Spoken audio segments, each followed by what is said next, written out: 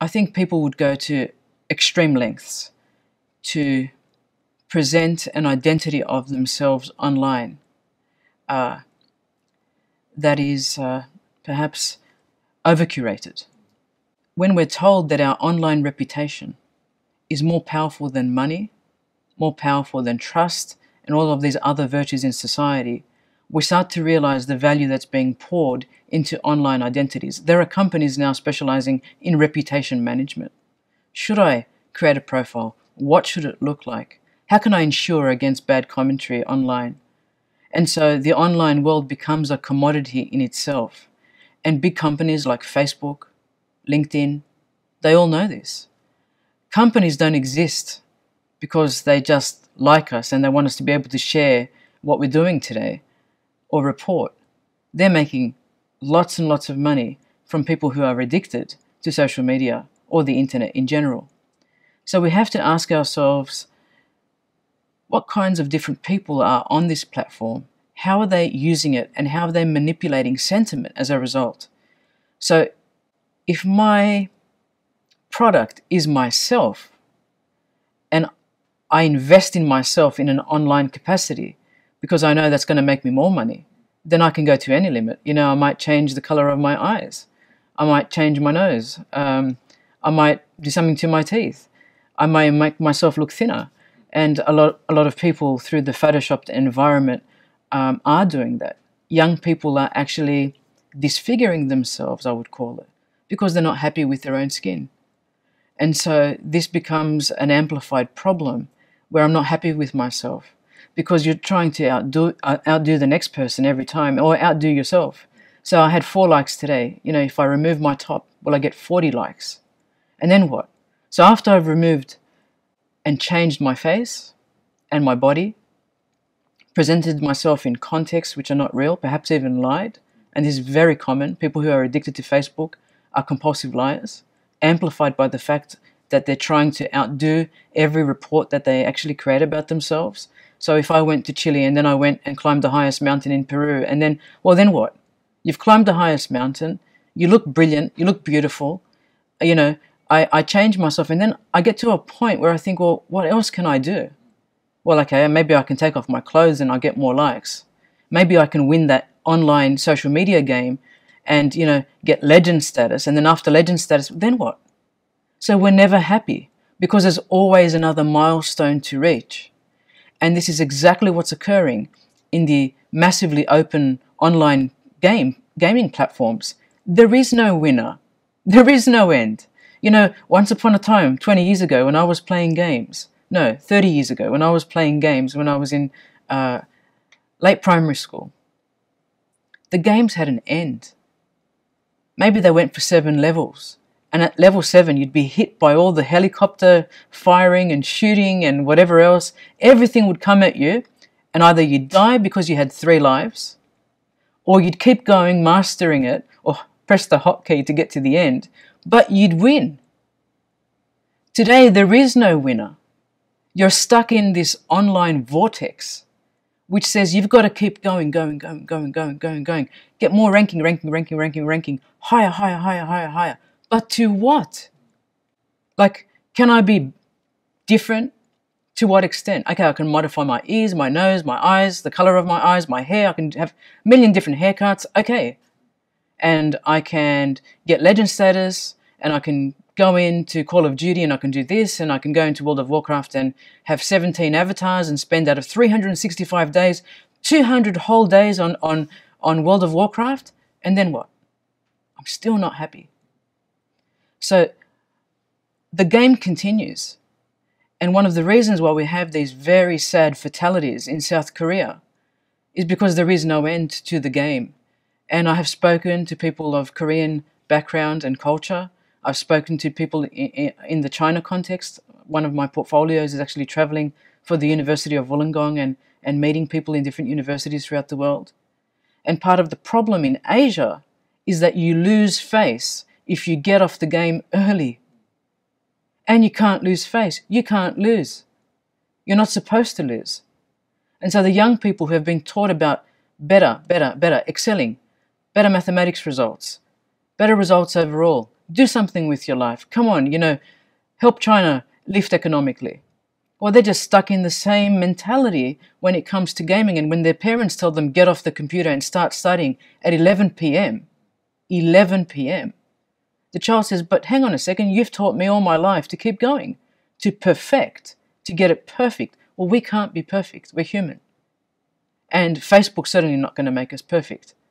And so we don't want to lose face, so we keep going. And to our detriment, to our self harm, because we're never happy. We're never content. We always want the extra bells and whistles. The way the neuroscientists describe this, one of the ways uh, people have described this social media addiction is by going back to the first game, Pong. Pong had a counter moving from left to right, and you'd have to block it in order to keep going in the game, a bit like a tennis rally. This is exactly what happens in social media. I send the message. I expect a response. I send another message. I expect more responses. I send another message. I expect even more responses. But what happens when those responses don't come? I get angry. I get frustrated. I get anxious. I keep looking. I can't close Facebook. I get upset. And so, in the middle of the night, I'm thinking, has someone sent me a message? Does someone love me? And if it's not the someone love me, it's the dopamine working in your brain. It's the amygdala getting excited in your body.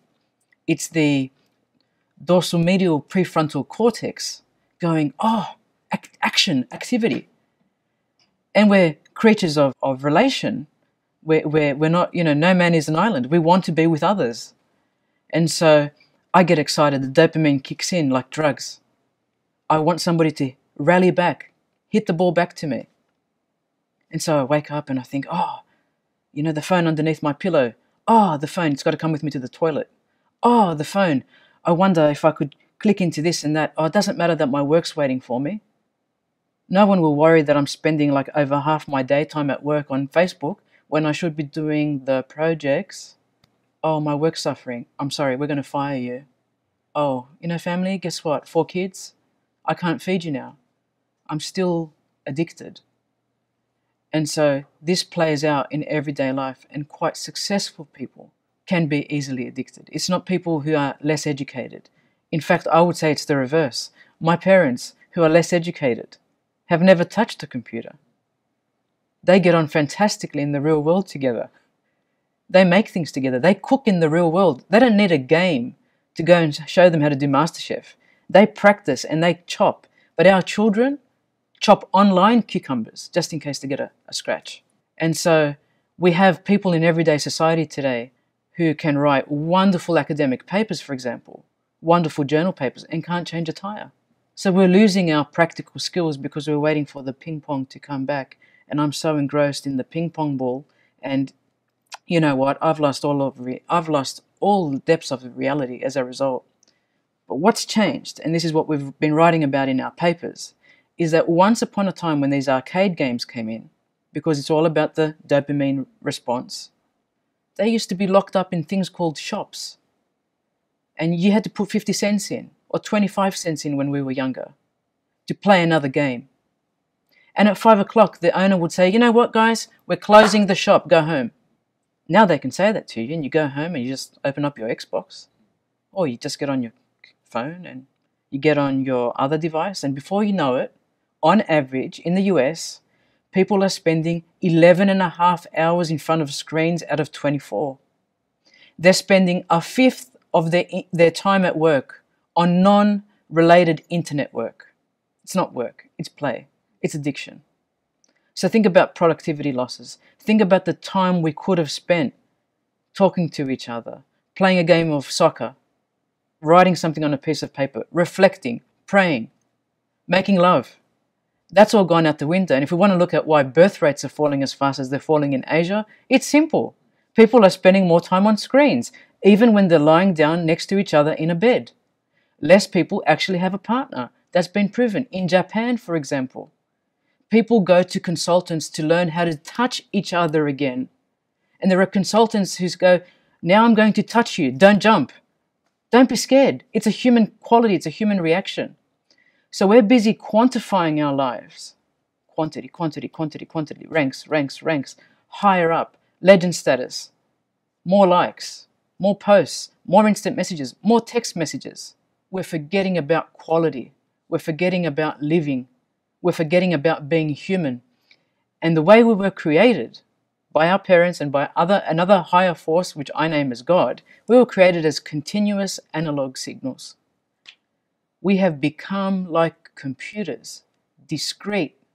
We message, we get a message back. We message, we get a message back. Where's this conversation going? I'm talking to you, talk back to me. I'm not a computer. Stop talking to me like an AI machine.